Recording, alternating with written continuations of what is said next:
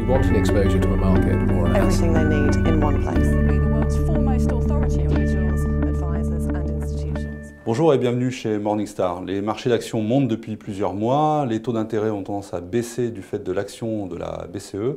Alors pour en parler, nous recevons le témoignage d'un investisseur institutionnel avec Philippe Desfossés, le directeur général de l'ERAF. Philippe, bonjour. Bonjour.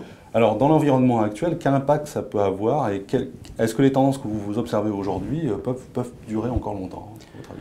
Alors, si vous faites euh, référence euh, au contexte de taux que Mm. nous connaissons, euh, je pense, euh, malheureusement, du point de vue d'un investisseur, que ça risque de durer encore quelques années. Après, au-delà de 3-4 ans, euh, c'est difficile, euh, par définition, de faire des, des prévisions. Mais on voit bien que les banques centrales, euh, même s'il y a un décalage dans leur entrée dans le quantitative easing, ne vont pas en sortir très rapidement.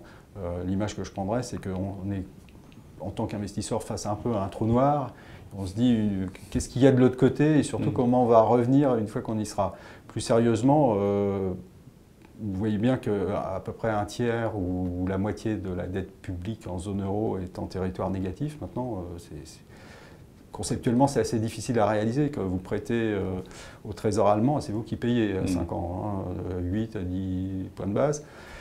Donc euh, cette situation risque de perdurer parce que euh, on voit bien que la, Banque Centrale Européenne a annoncé qu'elle achèterait au rythme de 60 milliards d'euros par mois euh, des titres. Donc évidemment, ça crée un effet d'éviction, ça fait monter le prix des obligations. Et ceci, par une sorte de ripple effect, hein, un effet de- d'onde, se transmet un peu à tous les segments. On a commencé à voir des corporates qui émettent aussi en territoire négatif. hein. Nestlé, deux ans, euh, c'était négatif de je ne sais plus combien de points de base, mais Mm. voilà. Donc progressivement, ça se transmet à tout, euh, avec une interrogation effectivement sur aussi euh, les marchés actions, où on se dit, certes, on distingue une- un début de reprise, on sent qu'il y a quelque Mm. chose qui se passe dans l'économie.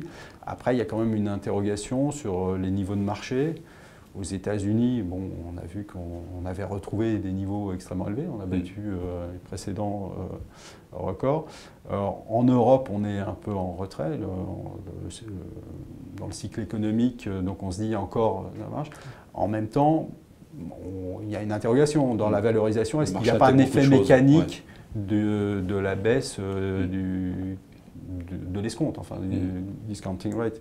Donc voilà, beaucoup d'interrogations. Maintenant, pour un fonds de pension comme l'ERAF euh, qui investit à très long terme, euh, qui est dans une situation de liquidité euh, excédentaire, en quelque sorte, qui dégage un cash flow net positif très important pour les dix prochaines années, d'une certaine façon, la question est relativement simple. C'est-à-dire il vaut mieux aller vers des actifs comme euh, les actions, euh, vers euh, l'immobilier, euh, que euh, d'investir euh, dans des obligations. Et en plus, on a le choix, et en plus, la réglementation vient de nous donner un peu plus de souplesse.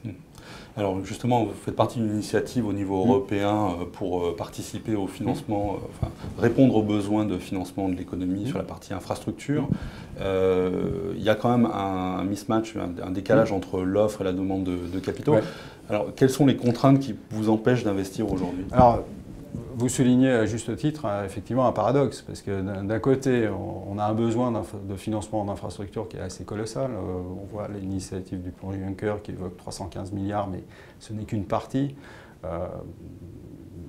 Créer euh, des, connexions entre les grilles de distribution d'énergie, euh, isoler euh, l'habitat de manière correcte, qui est sans doute l'endroit où le retour sur investissement est le plus élevé. Tout ça, ça va mobiliser des centaines de milliards d'euros. De l'autre côté, vous avez des investisseurs, mentionnés à, ICC, donc Institutional Investor Group on Climate Change, dont l'ERAF fait partie, je, je siège au, au board.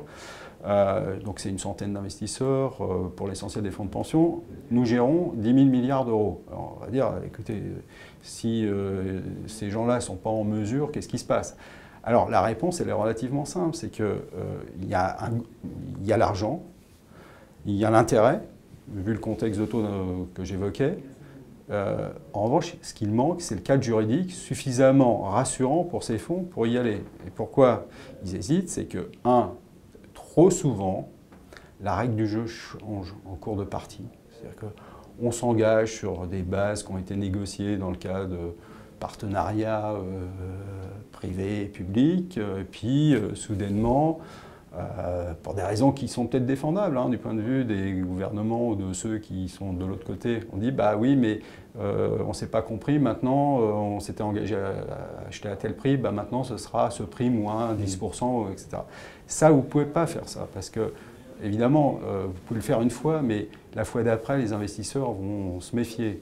Et deuxième euh, point, c'est que lorsque vous investissez dans les infrastructures, le niveau de, l'investissement unitaire est tel que vous avez intérêt, évidemment, à faire de l'agrégation mmh. de façon à pouvoir mettre euh, plusieurs investisseurs, dès lors que vous débitez en quelque sorte cette agrégation de projets. Hein. Donc euh, l'idée, c'est de pouvoir aussi diversifier les risques.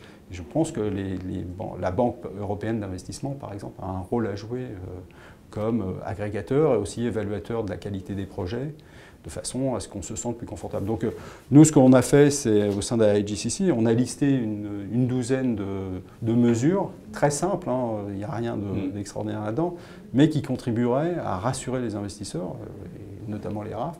Et encore une fois, avec les nouvelles facilités que, que l'on a obtenues, les assouplissements euh, grâce euh, donc au gouvernement qui, a changé un peu euh, ce cadre très contraignant que nous avions, on, pourrait participer de manière beaucoup plus active à ce type de financement. D'accord.